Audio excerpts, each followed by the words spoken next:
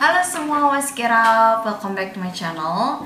Jadi di video kali ini gue pingin ngelukis kegabutan gue hari ini.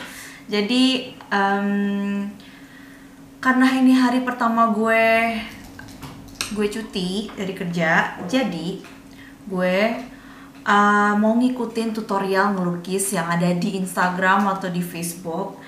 Ini dari nama channelnya tuh Daily Art. Itu gue udah nemuin ada di Facebook juga ada di Instagram juga.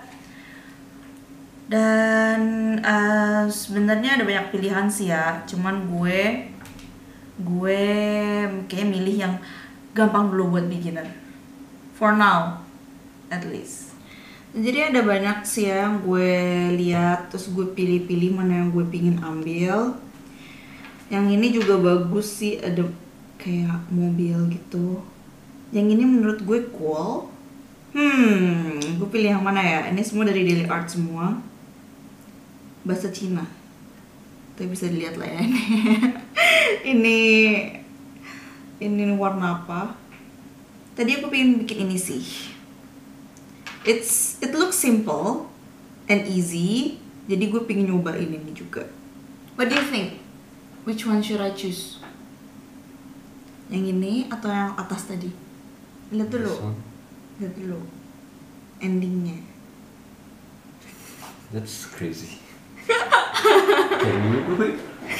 Atau yang ini Ray? Ini bagus juga sih. Bagus banget. Can you? I don't know kan ini mau nyoba. Makanya dimasukin video untuk nyoba bisa atau enggak. Oh ya udah, coba. tapi aku nggak punya solatipnya Solatif. nah kan dipakai solatip Nah, ya udah, yang ada ini aja. So, pertama-tama, jadi we've decided untuk ngambil video yang uh, gambar pemandangan, ada gunung-gunung dan um, malam hari itu. Karena gue nggak punya salatifnya, jadi gue pilih ngambil itu aja.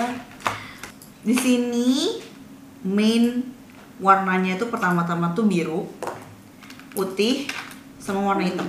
Gue harus ambil air. Jadi bahan-bahannya udah ada di sini semua. Udah ada cat, kuas, semua ada di sini. Ini budget banget. Jadi ini beneran gue beli udah lama sebenarnya. Gue beli di drugstore, bukan drugstore sih, tapi kayak one euro shop gitu. Jadi ini beneran murah-murah semua.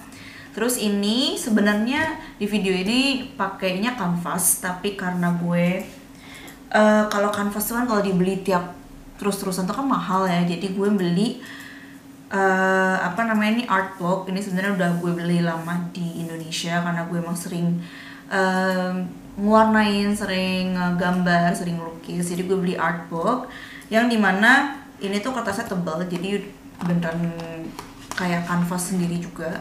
Kertasnya tebal jadi buat ngelukis bisa. So, let's move on to the art. So, pertama-tama pertama-tama itu biru tua, biru muda. Ini kalau misalnya gagal maklum ya karena karena gue juga nggak jago. Ini gue beneran ngikut bakal ngikutin fix dari Yi, jadi dari Instagram. Jadi untuk background warnanya, kalau di video itu kelihatannya smooth banget, tapi kalau gue sendiri itu kelihatannya rough. Jadi gue tambahin air biar warna semua biru, putih dan hitamnya itu kecampur.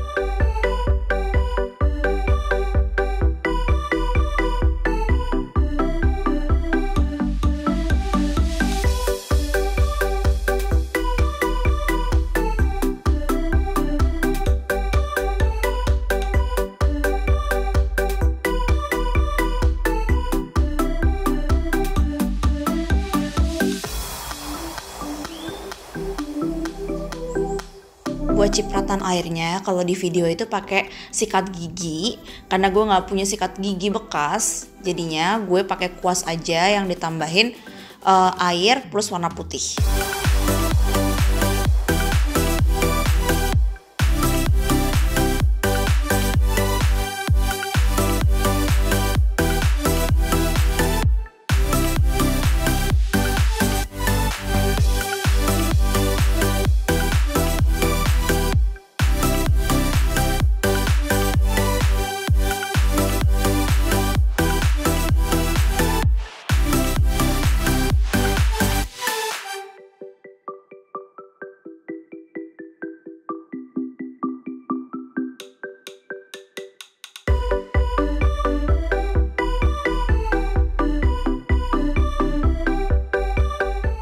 bentuk gunungnya karena nggak begitu dikasih tahu di videonya jadi gue pakai warna hitam dulu buat ngebentuk semua gunungnya dan atas-atasnya gue outline sama warna biru dan warna putih.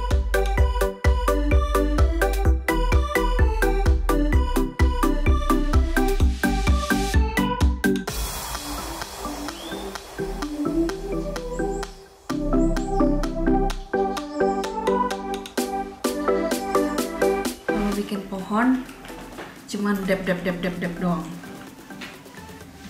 Yang penting cuman kuasnya doang sih. Kalau mirip 100% sama yang di lukisan sih enggak.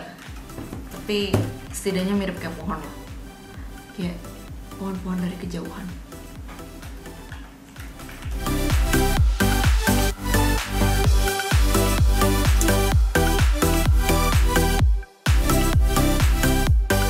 Nah, ini tuh bagian yang penting banget karena ini buat ngebedain antara pantulan dari air sama yang bukan.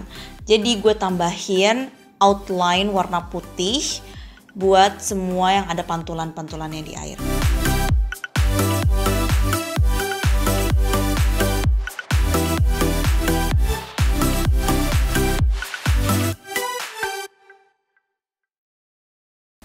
Oke guys, jadi udah jadi. Ini hasil gue ngikuti tutorial yang ada di internet, tutorial melukis yang ada di internet. eh gue sih merasa puas-puas aja sih, walaupun ya gue kan beginner ya, gue belum pernah ngelakuin ini dan teknik-teknik yang kayak gitu, ya gue coba-coba aja dan hasilnya begini. Lumayan lah ya, nggak terlalu bagus tapi oke dan segitu aja video hari ini. Makasih udah nemenin aku nemenin gue hari ini gegabut-gabutan gue ngelukis. And jangan lupa like dan subscribe biar gue tambah semangat bikin videonya. Thank you. See you next time. Bye bye